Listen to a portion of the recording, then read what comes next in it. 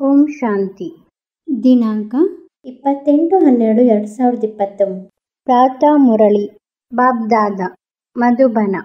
ಮಧುರ ಮಕ್ಕಳೇ ಸೇವೆಯು ಮನೆಯಿಂದಲೇ ಆರಂಭವಾಗುತ್ತದೆ. ಅಂದರೆ ಮೊದಲು ಸ್ವಯಂ ಆತ್ಮಾಭಿಮಾನಿಗಳಾಗುವ ಪರಿಶ್ರಮ ಪಡಿ ನಂತರ ಅನ್ಯರಿಗೆ ತಿಳಿಸಿ. ಆತ್ಮನೆಂದು ತಿಳಿದು ಆತ್ಮನಿಗೆ ಜ್ಞಾನವನ್ನು ಕೊಡಿ. ಆಗ ಜ್ಞಾನದ ಖಡ್ಗದಲ್ಲಿ ಅರಿತ ಬರುವುದು. ಸೇವೆಯು ಮನೆಯಿಂದಲೇ ಆರಂಭವಾಗುತ್ತದೆ. ಅಂದರೆ ಮೊದಲು ಸ್ವಯಂ ಆತ್ಮಾಭಿಮಾನಿಗಳಾಗುವ, ಪರಿಶ್ರಮ ಪಡಿ. ನಂತರ ಅನ್ಯರಿಗೆ ತಿಳಿಸಿ. ಆತ್ಮನೆಂದು ತಿಳಿದು ಆತ್ಮನಿಗೆ ಜ್ಞಾನವನ್ನು ಕೊಡಿ. ಆಗ ಜ್ಞಾನದ ಖಡ್ಗದಲ್ಲಿ ಅರಿತ ಬರುವುದು. ಪ್ರಶ್ನೆ. ಸಂಗಮ ಯುಗದಲ್ಲಿ ಯಾವ ಎರಡು ವಿಚಾರಗಳಲ್ಲಿ ಪರಿಶ್ರಮ ಪಡುವುದರಿಂದ ಸತ್ಯಯುಗಿ ಸಿಂಹಾಸನದ ಮಾಲೀಕರಾಗುತ್ತೀರಿ? ಸಂಗಮ ಯುಗದಲ್ಲಿ ಯಾವ ಎರಡು ವಿಚಾರಗಳಲ್ಲಿ ಪರಿಶ್ರಮ ಪಡುವುದರಿಂದ ಸತ್ಯಯುಗಿ ಸಿಂಹಾಸನದ ಮಾಲೀಕರಾಗುತ್ತೀರಿ?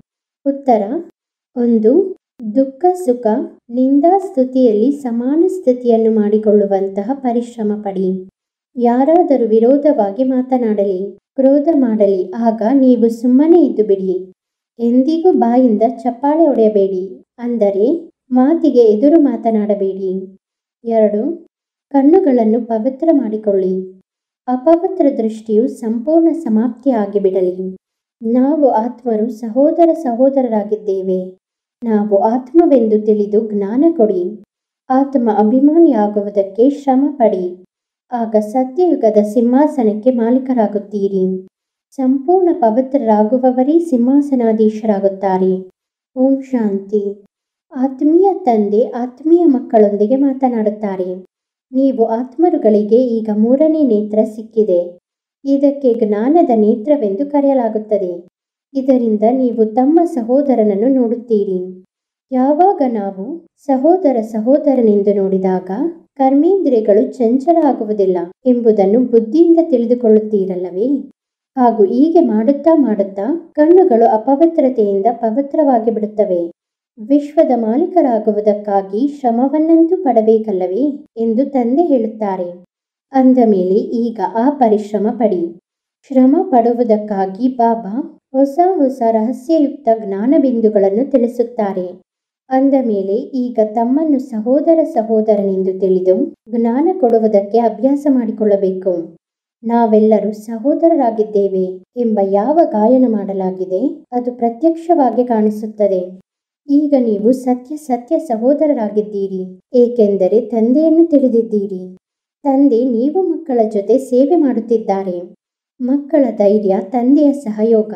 ಅಂದ ಮೇಲೆ ತಂದೆ ಬಂದು ಸೇವೆ ಮಾಡುವ ಧೈರ್ಯ ಕೊಡುತ್ತಾರೆ. ಇದು ಸಹಜವಾಯಿತಲ್ಲವೇ? ಅಂದಾಗ ಪ್ರತಿನಿತ್ಯ ಈ ಅಭ್ಯಾಸವನ್ನು ಮಾಡಬೇಕು. ಸುಸ್ತು ಆಗಬಾರದು. ಇಲ್ಲಿ ಹೊಸ ಹೊಸ ಜ್ಞಾನ ಬಿಂದುಗಳು ಮಕ್ಕಳಿಗೆ ಸಿಗುತ್ತದೆ. ನಾವು ಸಹೋದರರಿಗೆ ಬಾಬಾ ಓದಿಸುತ್ತಿದ್ದಾರೆ ಎಂದು ಮಕ್ಕಳಿಗೆ ಗೊತ್ತಿದೆ. ಆತ್ಮಗಳು ಓದುತ್ತವೆ. ಇದು ಆತ್ಮೀಯ ಜ್ಞಾನವಾಗಿದೆ. ಇದಕ್ಕೆ ಆಧ್ಯಾತ್ಮಿಕ ಜ್ಞಾನವೆಂದು ಕರೆಯಲಾಗುತ್ತದೆ. ಕೇವಲ ಈ ಸಮಯದಲ್ಲಿ ಆತ್ಮೀಯ ಜ್ಞಾನ ಆತ್ಮೀಯ ತಂದೆಯಿಂದ ಸಿಗುತ್ತದೆ. ಏಕೆಂದರೆ ಸಂಗಮ ಯುಗದಲ್ಲಿಯೇ ತಂದೆ ಬಂದು ಸೃಷ್ಟಿಯನ್ನು ಬದಲಾಯಿಸುತ್ತಾರೆ. ಯಾವಾಗ ಸೃಷ್ಟಿ ಬದಲಾವಣೆ ಆಗಬೇಕೋ ಆಗ ಆತ್ಮೀಯ ಜ್ಞಾನ ಸಿಗುತ್ತದೆ. ತಂದೆ ಬಂದು ತಮ್ಮನ್ನು ಆತ್ಮನೆಂದು ತಿಳಿದುಕೊಳ್ಳಿ ಎಂಬ ಆತ್ಮೀಯ ಜ್ಞಾನವನ್ನೇ ಕೊಡುತ್ತಾರೆ. ಆತ್ಮ ಅಶರೀರಿಯಾಗಿ ಬಂದಿತು. ಇಲ್ಲಿ ನಂತರ ಶರೀರವನ್ನು ಧಾರಣೆ ಮಾಡುತ್ತದೆ. ಪ್ರಾರಂಭದಿಂದ ಇದುವರೆಗೆ ಆತ್ಮನೇ ಎಂಬತ್ನಾಲ್ಕು ಜನ್ಮವನ್ನು ಪಡೆದಿದೆ. ಆದರೆ ಕ್ರಮಾನುಸಾರವಾಗಿ ಯಾರು ಹೇಗೆ ಬಂದಿರಬಹುದೋ ಅದೇ ರೀತಿ ಜ್ಞಾನ ಯೋಗದಲ್ಲಿ ಪರಿಶ್ರಮ ಪಡುತ್ತಾರೆ. ಯಾರು ಕಲ್ಪದ ಮೊದಲು ಎಷ್ಟು ಪುರುಷಾರ್ಥ ಮಾಡಿದ್ದರೋ ಶ್ರಮ ಪಟ್ಟಿದ್ದರೂ ಅದೇ ರೀತಿ ಈಗಲೂ ಅಷ್ಟೇ ಶ್ರಮ ಪಡುತ್ತಿರುತ್ತಾರೆ ಎಂಬುದು ಕಾಣಬರುತ್ತದೆ. ತಮಗಾಗಿ ಶ್ರಮ ಪಡಬೇಕು ಇತರರಿಗಾಗಿ ಶ್ರಮ ಪಡುವಂತಿಲ್ಲ ಅಂದ ಮೇಲೆ ತಮ್ಮನ್ನು ಆತ್ಮನೆಂದು ತಿಳಿದು, ತಮಗಾಗಿ ಶ್ರಮ ಪಡಬೇಕು ಅನ್ಯರು ಏನು ಮಾಡುತ್ತಾರೆ ಎಂಬುದನ್ನು ನೋಡುವುದರಲ್ಲಿ ನಮಗೆ ಏನು ಲಾಭವಿದೆ? ಮನೆಯಿಂದ ಸೇವೆಯನ್ನು ಪ್ರಾರಂಭಿಸಬೇಕು ಎಂದರೆ ಮೊಟ್ಟ ಮೊದಲು ಸ್ವಯಂ ಶ್ರಮ ಪಡಬೇಕು ನಂತರ ಅನ್ಯ ಸಹೋದರರಿಗೆ ಹೇಳಬೇಕು. ಯಾವಾಗ ತಮ್ಮನ್ನು ಆತ್ಮನೆಂದು ತಿಳಿದು ಆತ್ಮಕ್ಕೆ ಜ್ಞಾನವನ್ನು ಕೊಡುತ್ತೀರಿ? ಅಂದಾಗ ನಿಮ್ಮ ಜ್ಞಾನದ ಖಡ್ಗದಲ್ಲಿ ಅರಿತ ಬರುತ್ತದೆ. ಪರಿಶ್ರಮವಿದೆ ಅಲ್ಲವೇ? ಅಂದ ಮೇಲೆ ಖಂಡಿತ ಸ್ವಲ್ಪವಾದರೂ ಸಹನೆ ಮಾಡಬೇಕಾಗುತ್ತದೆ. ಈ ಸಮಯದಲ್ಲಿ ಸುಖ, ದುಃಖ ನಿಂದಾಸ್ತುತಿ ಮಾನ, ಅಪಮಾನ ಈ ಎಲ್ಲವನ್ನೂ ಸ್ವಲ್ಪವಾದರೂ ಸಹನೆ ಮಾಡಬೇಕಾಗುತ್ತದೆ. ಅಂದ ಮೇಲೆ ಯಾರಾದರೂ ವಿರೋಧವಾಗಿ ಮಾತನಾಡಿದರೆ, ಸುಮ್ಮನೆ ಇದ್ದು ಬಿಡಿ ಎಂದು ತಂದೆ ಹೇಳುತ್ತಾರೆ. ಯಾವಾಗ ಸುಮ್ಮನೆ ಆಗಿಬಿಡುತ್ತೀರಿ? ನಂತರ ಯಾರೂ ಕ್ರೋಧ ಮಾಡುವುದಿಲ್ಲ. ಯಾರಾದರೂ ಮಾತನಾಡಿದರೆ, ಮತ್ತೊಬ್ಬರು ಮಾತನಾಡಿದಾಗ ಮಾತಿಗೆ ಮಾತು ಸೇರುತ್ತದೆ. ಒಂದು ವೇಳೆ ಒಬ್ಬರು ಬಾಯಿಂದ ನಿಂದನೆ ಮಾತನಾಡಿದರೆ, ಮತ್ತೊಬ್ಬರು ಶಾಂತವಾಗಿದ್ದಾಗ ಸುಮ್ಮನಾಗಿ ಬಿಡುತ್ತಾರೆ ಇದನ್ನು ತಂದೆಯೇ ಕಲಿಸಿಕೊಡುತ್ತಾರಷ್ಟೇ. ಎಂದಾದರೂ ಯಾರಾದರೂ ಕ್ರೋಧದಲ್ಲಿ ಬಂದರೆ ಆಗ ಮೌನವಾಗಿ ಬಿಡಿ. ತಾನಾಗಿಯೇ ಅವರ ಕ್ರೋಧ ಶಾಂತವಾಗಿ ಬಿಡುತ್ತದೆ. ಬೇರೆಯವರು ಎದುರು ಮಾತನಾಡುವುದಿಲ್ಲ. ಒಂದು ವೇಳೆ ಮಾತಿಗೆ ಮಾತು ಸೇರಿದರೆ ಗಲಾಟೆ ಆಗುವುದು. ಆದ್ದರಿಂದ ಮಕ್ಕಳೇ, ಯಾವುದೇ ವಿಕಾರದ, ಕಾಮದ, ಕ್ರೋಧದ ಮಾತಿಗೆ ಮಾತು ಕೊಡಬೇಡಿ ಎಂದು ತಂದೆ ಹೇಳುತ್ತಾರೆ. ಮಕ್ಕಳು ಪ್ರತಿಯೊಬ್ಬರ ಕಲ್ಯಾಣ ಮಾಡಲೇಬೇಕು. ಇಷ್ಟೆಲ್ಲ ಸೇವಾ ಕೇಂದ್ರಗಳು ಮಾಡಿರುವುದು ಏತಕ್ಕಾಗಿ? ಕಲ್ಪದ ಮೊದಲು ಹೀಗೆ ಸೇವಾ ಕೇಂದ್ರಗಳು ತೆರೆದಿರಬಹುದು. ಬಾಬಾ, ಸೇವಾ ಕೇಂದ್ರ ತೆರೆಯಲೇ? ಎಂಬ ಆಸಕ್ತಿ ಅನೇಕ ಮಕ್ಕಳಿಗೆ ಇದೆ ಎಂಬುದನ್ನು ದೇವರ ದೇವ ತಂದೆ ನೋಡುತ್ತಿರುತ್ತಾರೆ. ನಾವು ಸೇವಾ ಕೇಂದ್ರ ತೆರೆಯುತ್ತೇವೆ. ನಾವೇ ಖರ್ಚನ್ನು ನಿಭಾಯಿಸುತ್ತೇವೆ ಅಂದಾಗ ದಿನಕ್ರಮೇಣ ಹೀಗೆ ಆಗುತ್ತಿರುತ್ತದೆ. ಏಕೆಂದರೆ ಎಷ್ಟು ವಿನಾಶದ ದಿನಗಳು ಸಮೀಪ ಬರುತ್ತಾ ಹೋಗುತ್ತದೆ. ಅಷ್ಟು ಈ ಕಡೆ ಸೇವೆಯ ಆಸಕ್ತಿ ಹೆಚ್ಚುತ್ತಾ ಹೋಗುತ್ತದೆ. ಈಗ ಬಾಬ್ದಾದ ಒಟ್ಟಿಗೆ ಇದ್ದಾರೆ. ಅಂದ ಮೇಲೆ ಏನು ಪುರುಷಾರ್ಥ ಮಾಡುತ್ತಾರೆ? ಏನು ಪದವಿ ಪಡೆಯುತ್ತಾರೆ? ಯಾರ ಪುರುಷಾರ್ಥ ಉತ್ತಮವಾಗಿದೆ? ಯಾರದ್ದು ಮಧ್ಯಮವಾಗಿದೆ? ಯಾರದ್ದು ಕನಿಷ್ಠವಾಗಿದೆ? ಎಂದು ಪ್ರತಿಯೊಬ್ಬರನ್ನು ನೋಡುತ್ತಿದ್ದಾರೆ. ವಿದ್ಯಾರ್ಥಿಗಳು ಯಾವ ವಿಷಯದಲ್ಲಿ ಏರುಪೇರು ಆಗುತ್ತಾರೆ ಎಂದು ಶಾಲೆಯಲ್ಲಿ ಶಿಕ್ಷಕರು ನೋಡುತ್ತಾರೆ. ಇಲ್ಲಿಯೂ ಅದೇ ರೀತಿ ಆಗುತ್ತದೆ. ಕೆಲವು ಮಕ್ಕಳು ತುಂಬ ಚೆನ್ನಾಗಿ ಗಮನ ಕೊಡುತ್ತಾರೆ. ಆಗ ತಮ್ಮನ್ನು ಶ್ರೇಷ್ಠರೆಂದು ತಿಳಿಯುತ್ತಾರೆ. ಕೆಲವರು ಸಮಯದಲ್ಲಿ ಪುನಃ ತಪ್ಪು ಮಾಡುತ್ತಾರೆ. ನೆನಪಿನಲ್ಲಿ ಇರುವುದಿಲ್ಲ ಅಂದಾಗ ತಮ್ಮನ್ನು ಕನಿಷ್ಠರು ಎಂದು ತಿಳಿಯುತ್ತಾರೆ. ಇದು ಶಾಲೆಯಲ್ಲವೇ? ಬಾಬಾ, ನಾವು ಆಗಾಗ ತುಂಬ ಖುಷಿಯಲ್ಲಿರುತ್ತೇವೆ. ಆಗಾಗ ಖುಷಿ ಕಡಿಮೆ ಆಗುತ್ತದೆ ಎಂದು ಮಕ್ಕಳು ಹೇಳುತ್ತಾರೆ.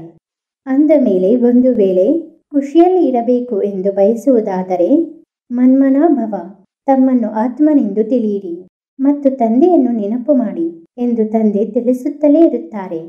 ಸನ್ಮುಖದಲ್ಲಿ ಪರಮಾತ್ಮನನ್ನು ನೋಡಿ ಅಂದ ಮೇಲೆ ಅಕಾಲ ಸಿಂಹಾಸನದಲ್ಲಿ ಕುಳಿತಿದ್ದಾರೆ. ಹಾಗೆಯೇ ಸಹೋದರರ ಕಡೆಯೂ ನೋಡಿ, ತಮ್ಮನ್ನು ಆತ್ಮನೆಂದು ತಿಳಿದು ನಂತರ ಸಹೋದರರ ಜೊತೆ ಮಾತನಾಡಿ.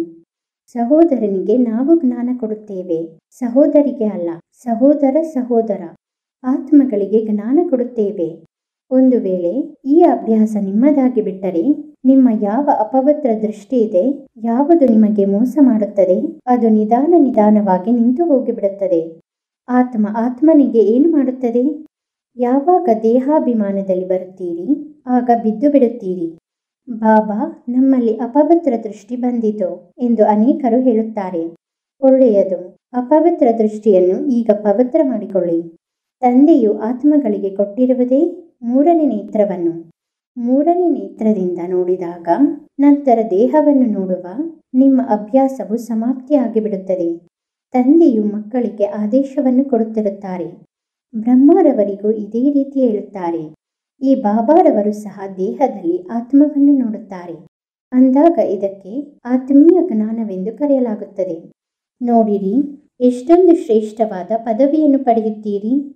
ಜಬರ್ದಸ್ತ್ ಪದವಿಯಾಗಿದೆ. ಅಂದಾಗ ಪುರುಷಾರ್ಥವನ್ನು ಸಹ ಅದೇ ರೀತಿ ಮಾಡಬೇಕು. ಕಲ್ಪದ ಮೊದಲಿನಂತೆ ಎಲ್ಲರ ಪುರುಷಾರ್ಥ ನಡೆಯುತ್ತದೆ ಎಂದು ಬಾಬಾರವರು ತಿಳಿಯುತ್ತಾರೆ. ಕೆಲವರು ರಾಜ ರಾಣಿ ಆಗುತ್ತಾರೆ, ಕೆಲವರು ಪ್ರಜೆಯಲ್ಲಿ ಹೋಗುತ್ತಾರೆ. ಎಲ್ಲಿ ಕುಳಿತು ಯೋಗವನ್ನು ಮಾಡಿಸುತ್ತೀರಿ ಅಂದಾಗ ತಮ್ಮನ್ನು ಆತ್ಮನೆಂದು ತಿಳಿದು ಅನ್ಯರ ಭ್ರಕುಟಿಯಲ್ಲಿ ಆತ್ಮನನ್ನೇ ನೋಡುತ್ತೀರಿ. ಅಂದಾಗ ಅವರ ಸೇವೆಯೂ ಉತ್ತಮ ರೀತಿಯಲ್ಲಿ ಆಗುತ್ತದೆ. ಯಾರು ದೇಹೇ ಅಭಿಮಾನಿಯಾಗಿದ್ದು ಕುಳಿತುಕೊಳ್ಳುತ್ತಾರೆ, ಅವರು ಆತ್ಮವನ್ನೇ ನೋಡುತ್ತಾರೆ. ಹೆಚ್ಚಿನ ಅಭ್ಯಾಸ ಮಾಡಿ. ಅರಿ ಶ್ರೇಷ್ಠ ಪದವಿಯನ್ನು ಪಡೆಯಬೇಕೆಂದರೆ ಸ್ವಲ್ಪವಾದರೂ ಪರಿಶ್ರಮ ಪಡುತ್ತಾರಲ್ಲವೇ? ಅಂದ ಮೇಲೆ ಈಗ ಆತ್ಮಗಳಿಗಾಗಿ ಈ ಪರಿಶ್ರಮವಾಗಿದೆ. ಈ ಆತ್ಮೀಯ ಜ್ಞಾನ ಒಂದೇ ಬಾರಿ ಸಿಗುತ್ತದೆ. ಕಲಿಯುಗದಲ್ಲಾಗಲಿ, ಸತ್ಯಯುಗದಲ್ಲಾಗಲಿ ಸಿಗುವುದಿಲ್ಲ. ಕೇವಲ ಸಂಗಮ ಯುಗದಲ್ಲಿ ಅದರಲ್ಲಿಯೂ ಬ್ರಾಹ್ಮಣರಿಗೆ ಮಾತ್ರ. ಇದನ್ನು ಪರಿಪಕ್ವವಾಗಿ ನೆನಪಿಟ್ಟುಕೊಳ್ಳಿ. ಬ್ರಾಹ್ಮಣರಾದಾಗ ಮಾತ್ರ ದೇವತೆಗಳಾಗುತ್ತಾರೆ. ಬ್ರಾಹ್ಮಣರೇ ಆಗಲಿಲ್ಲವೆಂದರೆ ಹೇಗೆ ದೇವತೆಗಳಾಗುತ್ತಾರೆ? ಈ ಸಂಗಮದಲ್ಲಿಯೇ ಈ ಪರಿಶ್ರಮ ಪಡುತ್ತಾರೆ. ಬೇರೆ ಯಾವುದೇ ಸಮಯದಲ್ಲಿ ತಮ್ಮನ್ನು ಆತ್ಮನೆಂದು ತಿಳಿದು, ಅನ್ಯರನ್ನು ಆತ್ಮನೆಂದು ತಿಳಿದು ಅವರಿಗೆ ಜ್ಞಾನವನ್ನು ಕೊಡಿ ಎಂದು ಹೇಳಲಾಗುವುದಿಲ್ಲ. ತಂದೆ ಯಾವುದನ್ನು ತಿಳಿಸುತ್ತಾರೆ? ಅದರ ಬಗ್ಗೆ ವಿಚಾರ ಸಾಗರ ಮಂಥನ ಮಾಡಿ. ಇದು ಸರಿ ಇರುವುದು? ನಮಗೆ ಲಾಭವಾಗುವಂತಹ ವಿಚಾರವಿದೆಯೇ ಎಂದು ನಿರ್ಣಯ ಮಾಡಿ. ತಂದೆಯಿಂದ ಯಾವ ಶಿಕ್ಷಣವು ಸಿಗುತ್ತದೆಯೋ ಅದನ್ನು ಸಹೋದರರಿಗೆ ನೀಡಬೇಕು. ಸಹೋದರಿಯರಿಗೂ ನೀಡಬೇಕು ಎಂಬುದು ನಮಗೆ ಅಭ್ಯಾಸವಾಗಿ ಬಿಡುತ್ತದೆ ಕೊಡಬೇಕಾಗಿರುವುದಂತೂ ಆತ್ಮಗಳಿಗೆ ಮಾತ್ರ. ಆತ್ಮವೇ ಪುರುಷ, ಸ್ತ್ರೀ ಆಗಿದೆ. ಸಹೋದರ, ಸಹೋದರಿಯೂ ಆಗಿದೆ. ನಾನು ನೀವು ಮಕ್ಕಳಿಗೆ ಜ್ಞಾನವನ್ನು ಕೊಡುತ್ತೇನೆಂದು ತಂದೆ ಹೇಳುತ್ತಾರೆ, ನಾನು ಮಕ್ಕಳ ಕಡೆ ಆತ್ಮಗಳನ್ನೇ ನೋಡುತ್ತೇನೆ. ಹಾಗೂ ಪರಮಾತ್ಮ ಯಾರು ನಮ್ಮ ತಂದೆಯಾಗಿದ್ದಾರೆ, ಅವರು ಜ್ಞಾನವನ್ನು ಕೊಡುತ್ತಿದ್ದಾರೆ ಎಂಬುದನ್ನು ಆತ್ಮರುಗಳು ತಿಳಿಯುತ್ತಾರೆ. ಎಂದಾಗ ಆತ್ಮಾಭಿಮಾನಿಗಳಾದಿರಿ. ಇದಕ್ಕೆ ಆತ್ಮ ಪರಮಾತ್ಮನ ಜೊತೆ ಆಧ್ಯಾತ್ಮಿಕ ಜ್ಞಾನ ಕೊಡುವುದು, ತೆಗೆದುಕೊಳ್ಳುವುದು ಎಂದು ಹೇಳಲಾಗುತ್ತದೆ. ಈ ತಂದೆ ಶಿಕ್ಷಣವನ್ನು ಕೊಡುತ್ತಾರೆ. ಯಾವಾಗಲಾದರೂ ಯಾವುದೇ ವೀಕ್ಷಕರು ಮೊದಲಾದವರು ಬರುತ್ತಾರೆಂದರೆ ತಮ್ಮನ್ನು ಆತ್ಮನೆಂದು ತಿಳಿದು ಆತ್ಮನಿಗೆ ತಂದೆಯ ಪರಿಚಯ ಕೊಡಬೇಕು. ಆತ್ಮದಲ್ಲಿ ಜ್ಞಾನವಿದೆ, ಶರೀರದಲ್ಲಿ ಇಲ್ಲ. ಅಂದಾಗ ಅವರನ್ನು ಆತ್ಮನೆಂದು ತಿಳಿದು ಜ್ಞಾನವನ್ನು ಕೊಡಬೇಕು. ಇದರಿಂದ ಅವರಿಗೂ ಚೆನ್ನಾಗಿದೆ ಅನಿಸುತ್ತದೆ. ಯಾವ ರೀತಿ ನಿಮ್ಮ ಮಾತಿನ ಅರಿತವಿರುತ್ತದೆ, ಈ ಜ್ಞಾನವೆಂಬ ಖಡ್ಗದಲ್ಲಿ ಅರಿತ ತುಂಬುತ್ತದೆ. ಏಕೆಂದರೆ ದೇಹಿ ಅಭಿಮಾನಿಗಳಾಗುತ್ತೀರಲ್ಲವೇ?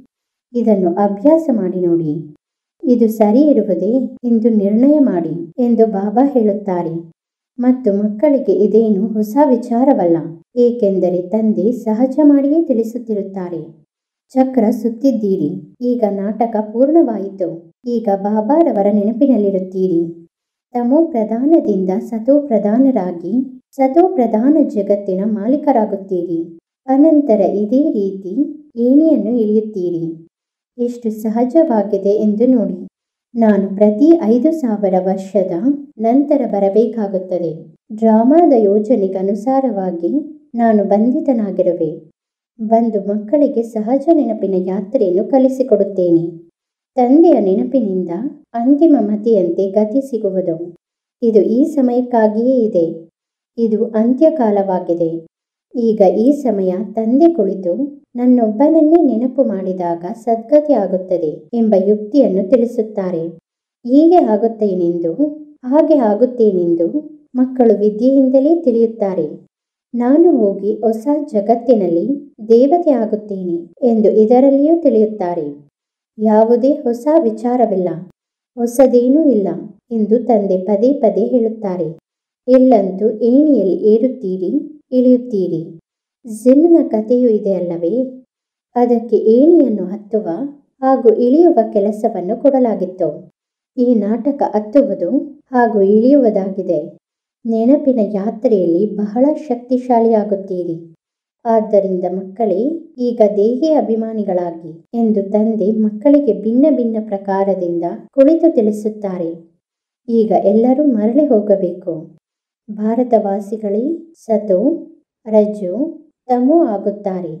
ಪೂರ್ಣ ಎಂಬತ್ನಾಲ್ಕು ಜನ್ಮವನ್ನು ಪಡೆದಿದ್ದಾರೆ ಎಂದು ಅನ್ಯ ಯಾವುದೇ ರಾಷ್ಟ್ರದವರಿಗೆ ಹೇಳುವುದಿಲ್ಲ. ತಂದೆಯೇ ಬಂದು ನಾಟಕದಲ್ಲಿ ಪ್ರತಿಯೊಬ್ಬರ ಪಾತ್ರ ತಮ್ಮ ತಮ್ಮದು ಇರುತ್ತದೆ ಎಂದು ತಿಳಿಸಿದ್ದಾರೆ. ಆತ್ಮ ಎಷ್ಟು ಚಿಕ್ಕದಾಗಿದೆ, ಇಷ್ಟು ಚಿಕ್ಕದಾದ ಆತ್ಮದಲ್ಲಿ ಅವಿನಾಶಿ ಪಾತ್ರ ತುಂಬಿದೆ ಎಂದು ವಿಜ್ಞಾನಿಗಳ ತಿಳುವಳಿಕೆಯಲ್ಲಿ ಇರುವುದಿಲ್ಲ. ಇದು ಎಲ್ಲದಕ್ಕಿಂತ ಅದ್ಭುತವಾದ ವಿಚಾರವಾಗಿದೆ. ಈ ಚಿಕ್ಕದಾದ ಆತ್ಮ ಮತ್ತು ಎಷ್ಟೊಂದು ದೊಡ್ಡ ಅವಿನಾಶಿ ಪಾತ್ರವನ್ನು ಅಭಿನಯಿಸುತ್ತದೆ. ಈ ಡ್ರಾಮಾನು ಅವಿನಾಶಿಯಾಗಿದೆ ಮತ್ತು ಮಾಡಿ ಮಾಡಲ್ಪಟ್ಟದ್ದಾಗಿದೆ. ಯಾವಾಗ ಮಾಡಲಾಗಿದೆ ಎಂದು ಯಾರೂ ಪ್ರಶ್ನಿಸುವಂತಿಲ್ಲ. ಇದು ವಿಧಿಯ ಆಟ ಎನ್ನಲಾಗಿದೆ. ಈ ಜ್ಞಾನ ಬಹಳ ಅದ್ಭುತವಾಗಿದೆ. ಎಂದಿಗೂ ಯಾರೂ ಈ ಜ್ಞಾನವನ್ನು ತಿಳಿಸುವುದಕ್ಕೆ ಸಾಧ್ಯವಿಲ್ಲ. ಈ ಜ್ಞಾನವನ್ನು ತಿಳಿಸುವುದಕ್ಕೆ ಯಾರಿಗೂ ತಾಕತ್ತು ಇಲ್ಲ. ಈಗ ಮಕ್ಕಳಿಗೆ ತಂದೆ ದಿನ ಪ್ರತಿದಿನ ತಿಳಿಸುತ್ತಿರುತ್ತಾರೆ. ನಾವು ನಮ್ಮ ಸಹೋದರ ಆತ್ಮನಿಗೆ ತಮ್ಮ ಸಮಾನ ಮಾಡಿಕೊಳ್ಳುವುದಕ್ಕಾಗಿ ಜ್ಞಾನವನ್ನು ಕೊಡುತ್ತಿದ್ದೇನೆ ಎಂಬ ಅಭ್ಯಾಸವನ್ನು ಮಾಡಿ. ತಂದೆಯಿಂದ ಆಸ್ತಿಯನ್ನು ತೆಗೆದುಕೊಳ್ಳುವ ಹಕ್ಕು ಎಲ್ಲ ಆತ್ಮಗಳಿಗೆ ಇದೆ. ಎಲ್ಲ ಆತ್ಮರುಗಳಿಗೆ ತಮ್ಮ ತಮ್ಮ ಶಾಂತಿ ಹಾಗೂ ಸುಖದ ಆಸ್ತಿಯನ್ನು ಕೊಡುವುದಕ್ಕಾಗಿ ಬಾಬಾ ಬಂದಿದ್ದಾರೆ ಯಾವಾಗ ನಾವು ರಾಜಧಾನಿಯಲ್ಲಿರುತ್ತೇವೆ, ಆಗ ಉಳಿದವರೆಲ್ಲ ಶಾಂತಿಧಾಮದಲ್ಲಿರುತ್ತಾರೆ. ಕೊನೆಯಲ್ಲಿ ಜೈ ಜಯಕಾರವಾಗುತ್ತದೆ. ಇಲ್ಲಿ ಸುಖವೇ ಸುಖವಿರುತ್ತದೆ. ಆದ್ದರಿಂದ ಪಾವನರಾಗಿ ಎಂದು ತಂದೆ ಹೇಳುತ್ತಾರೆ. ಎಷ್ಟೆಷ್ಟು ನೀವು ಪವಿತ್ರರಾಗುತ್ತೀರಿ, ಅಷ್ಟು ಆಕರ್ಷಣೆ ಆಗುತ್ತದೆ. ಯಾವಾಗ ನೀವು ಸಂಪೂರ್ಣ ಪವಿತ್ರರಾಗುತ್ತೀರಿ, ಆಗ ಸಿಂಹಾಸನಾಧೀಶರಾಗುತ್ತೀರಿ. ಅಂದಾಗ ಈ ಅಭ್ಯಾಸ ಮಾಡಿ. ಇಲ್ಲಿ ಕೇಳಿರುವುದನ್ನು ಕಿವಿಯಿಂದ ತೆಗೆದುಹಾಕಬೇಕು ಎಂದು ತಿಳಿಯಬೇಡಿ. ಇಲ್ಲ, ಈ ಅಭ್ಯಾಸದ ಹೊರತಾಗಿ ನೀವು ನಡೆಯುವುದಕ್ಕೆ ಸಾಧ್ಯವಿಲ್ಲ. ತಮ್ಮನ್ನು ಆತ್ಮನೆಂದು ತಿಳಿಯಿರಿ. ಅವರು ಆತ್ಮ, ಸಹೋದರ, ಸಹೋದರನಿಗೆ ಕುಳಿತು ತಿಳಿಸಿ. ಆತ್ಮೀಯ ತಂದೆ ಆತ್ಮೀಯ ಮಕ್ಕಳಿಗೆ ತಿಳಿಸುತ್ತಾರೆ. ಇದಕ್ಕೆ ಆಧ್ಯಾತ್ಮಿಕ ಜ್ಞಾನವೆಂದು ಕರೆಯಲಾಗುತ್ತದೆ. ಆತ್ಮೀಯ ತಂದೆಯೇ ಕೊಡುವವರಾಗಿದ್ದಾರೆ. ಯಾವಾಗ ಮಕ್ಕಳು ಸಂಪೂರ್ಣ ಆತ್ಮೀಯ ಮಕ್ಕಳಾಗುತ್ತಾರೆ, ಸಂಪೂರ್ಣ ಪವಿತ್ರರಾಗುತ್ತಾರೆ, ಆಗ ಸತ್ಯಯುಗಿ ಸಿಂಹಾಸನದ ಮಾಲೀಕರಾಗುತ್ತಾರೆ. ಯಾರು ಪವಿತ್ರರಾಗುವುದಿಲ್ಲವೋ ಅವರು ಮಾಲೆಯಲ್ಲಿಯೂ ಬರುವುದಿಲ್ಲ. ಮಾಲೆಗೂ ಸಹ ಯಾವುದೋ ಅರ್ಥವಿರಬೇಕಲ್ಲವೇ? ಮಾಲೆಯ ರಹಸ್ಯವನ್ನು ಅನ್ಯರ್ಯಾರೂ ತಿಳಿಸುವುದಕ್ಕೆ ಸಾಧ್ಯವಿಲ್ಲ. ಮಾಲೆಯನ್ನು ಏತಕ್ಕಾಗಿ ಸ್ಮರಣೆ ಮಾಡುತ್ತಾರೆ? ಏಕೆಂದರೆ ತಂದೆಗೆ ಬಹಳ ಸಹಯೋಗ ಕೊಟ್ಟಿದ್ದಾರೆ. ಅಂದಾಗ ಏತಕ್ಕಾಗಿ ಸ್ಮರಣೆ ಮಾಡಬಾರದು? ನಿಮ್ಮ ಸ್ಮರಣೆಯೂ ಆಗುತ್ತದೆ, ಪೂಜೆಯೂ ಆಗುತ್ತದೆ ಮತ್ತು ನಿಮ್ಮ ಶರೀರಕ್ಕೂ ಪೂಜೆ ನಡೆಯುತ್ತದೆ. ಹಾಗೂ ನನಗಂತೂ ಕೇವಲ ಆತ್ಮಕ್ಕೆ ಪೂಜೆ ಆಗುತ್ತದೆ. ನೋಡಿ, ನನಗಿಂತಲೂ ಅಧಿಕವಾಗಿ ನಿಮಗೆ ಡಬಲ್ ಪೂಜೆಯನ್ನು ಮಾಡಲಾಗುತ್ತದೆ. ಯಾವಾಗ ನೀವು ದೇವತೆಗಳಾಗುತ್ತೀರಿ, ಆಗ ದೇವತೆಗಳಿಗೂ ಪೂಜೆ ಮಾಡುತ್ತಾರೆ. ಆದ್ದರಿಂದ ನೀವು ಪೂಜೆಯಲ್ಲಿಯೂ ಮುಂದಿದ್ದೀರಿ. ನೆನಪಾರ್ಥದಲ್ಲಿಯೂ ನೀವು ಮುಂದಿದ್ದೀರಿ. ಹಾಗೂ ಚಕ್ರಾಧಿಪತ್ಯದಲ್ಲಿಯೂ ನೀವು ಮುಂದಿದ್ದೀರಿ. ನೋಡಿ, ನಿಮ್ಮನ್ನು ಎಷ್ಟೊಂದು ಶ್ರೇಷ್ಠರನ್ನಾಗಿ ಮಾಡುತ್ತೇನೆ. ಅಂದಾಗ, ಯಾವ ರೀತಿ ಪ್ರಿಯವಾದ ಮಕ್ಕಳು ಇರುತ್ತಾರೆ? ಬಹಳ ಪ್ರೀತಿ ಇರುತ್ತದೆ. ಅಂದಾಗ ಆ ಮಕ್ಕಳನ್ನು ಭುಜದ ಮೇಲೆ, ತಲೆಯ ಮೇಲೆ ಕೂರಿಸಿಕೊಳ್ಳುತ್ತಾರೆ. ಬಾಬಾರವರಂತೂ ಪೂರ್ಣ ನೆತ್ತಿಯ ಮೇಲೆ ಕೂರಿಸಿಕೊಂಡಿದ್ದಾರೆ. ಒಳ್ಳೆಯದು. ಮಧುರಾತಿ ಮಧುರ ಬಹುಕಾಲದಿಂದ ಅಗಲಿ ಸಿಕ್ಕಿರುವ ಮಕ್ಕಳಿಗೆ ಮಾತಾಪಿತಾ ಬಾಬ್ದಾದಾರವರ ಸವೆ ನೆನಪು ಹಾಗೂ ಸುಪ್ರಭಾತ. ಆತ್ಮೀಯ ಮಕ್ಕಳಿಗೆ ಆತ್ಮೀಯ ತಂದೆಯ ನಮಸ್ಕಾರ. ಆತ್ಮೀಯ ತಂದೆಗೆ ಆತ್ಮೀಯ ಮಕ್ಕಳ ನಮಸ್ಕಾರಗಳು. ಧಾರಣೆಗಾಗಿ ಮುಖ್ಯ ಸಾರ. ಒಂದು, ಗಾಯನ ಮತ್ತು ಪೂಜೆಗೆ ಯೋಗ್ಯರಾಗುವುದಕ್ಕಾಗಿ ಆಧ್ಯಾತ್ಮಿಕದವರು ಆಗಬೇಕು. ಆತ್ಮವನ್ನು ಪವಿತ್ರ ಮಾಡಿಕೊಳ್ಳಬೇಕು. ಆತ್ಮ ಅಭಿಮಾನಿಯಾಗುವುದರ ಪರಿಶ್ರಮ ಪಡಬೇಕು. ಎರಡು, ಮನ್ಮನಾಭವದ ಅಭ್ಯಾಸದ ಮೂಲಕ ಅಪಾರ ಖುಷಿಯಲ್ಲಿರಬೇಕು. ಸ್ವಯಂ ಆತ್ಮನೆಂದು ತಿಳಿದು ಆತ್ಮನೊಂದಿಗೆ ಮಾತನಾಡಬೇಕು. ಕಣ್ಣುಗಳನ್ನು ಪವಿತ್ರ ಮಾಡಿಕೊಳ್ಳಬೇಕು. ವರದಾನ, ಸದಾ ಕಾಲ ಗಮನದ ಮೂಲಕ ವಿಜಯ ಮಾಲೆಯಲ್ಲಿ ಪೋಣಿಸಲ್ಪಡುವಂತಹ ಬಹಳ ಸಮಯದ ವಿಜಯೀಭವ. ಸದಾ ಕಾಲ ಗಮನದ ಮೂಲಕ ವಿಜಯ ಮಾಲೆಯಲ್ಲಿ ಪೋಣಿಸಲ್ಪಡುವಂತಹ ಬಹಳ ಸಮಯದ ವಿಜಯೀ ಭವ. ಬಹಳ ಸಮಯದ ವಿಜಯಿ ವಿಜಯಿ ಮಾಲೆಯ ಮಣಿಯಾಗುತ್ತಾರೆ ವಿಜಯಿಗಳಾಗುವುದಕ್ಕಾಗಿ ಸದಾ ತಂದೆಯನ್ನು ಸನ್ಮುಖದಲ್ಲಿಟ್ಟುಕೊಳ್ಳಿ. ಯಾವುದನ್ನು ತಂದೆ ಮಾಡಿದ್ದಾರೆ, ಅದನ್ನೇ ನಾವು ಮಾಡಬೇಕು. ಪ್ರತಿ ಹೆಜ್ಜೆಯಲ್ಲಿ ತಂದೆಯ ಯಾವ ಸಂಕಲ್ಪವಿದೆ, ಅದೇ ಮಕ್ಕಳ ಸಂಕಲ್ಪವಾಗಿರಬೇಕು. ತಂದೆಯ ಯಾವ ಮಾತು ಇದೆ, ಅದೇ ಮಕ್ಕಳ ಮಾತು ಆಗಿರಬೇಕು. ಆಗಲೇ ವಿಜಯಿಗಳಾಗುತ್ತೀರಿ. ಈ ಗಮನ ಸದಾ ಕಾಲಕ್ಕಾಗಿ ಬೇಕು. ಆಗ ಸದಾ ಕಾಲ ರಾಜ್ಯಭಾಗ್ಯ ಪ್ರಾಪ್ತಿಯಾಗುತ್ತದೆ. ಏಕೆಂದರೆ ಹೇಗೆ ಪುರುಷಾರ್ಥವಿರುತ್ತದೆಯೋ, ಅದೇ ರೀತಿ ಪ್ರಾರಬ್ಧವಿರುತ್ತದೆ. ಸದಾ ಕಾಲದ ಪುರುಷಾರ್ಥವಿದ್ದಾಗ ಸದಾ ಕಾಲದ ರಾಜ್ಯಭಾಗ್ಯವಿರುತ್ತದೆ. ಸ್ಲೋಗನ್, ಸೇವೆಯಲ್ಲಿ ಸದಾ ಆಗಲಿ ಎನ್ನುವುದು. ಇದು ಪ್ರೀತಿಯ ಸತ್ಯ ಪ್ರಮಾಣವಾಗಿದೆ. ಸೇವೆಯಲ್ಲಿ ಸದಾ ಆಗಲಿ ಎನ್ನುವುದು. ಇದು ಪ್ರೀತಿಯ ಸತ್ಯ ಪ್ರಮಾಣವಾಗಿದೆ. ಓಂ ಶಾಂತಿ.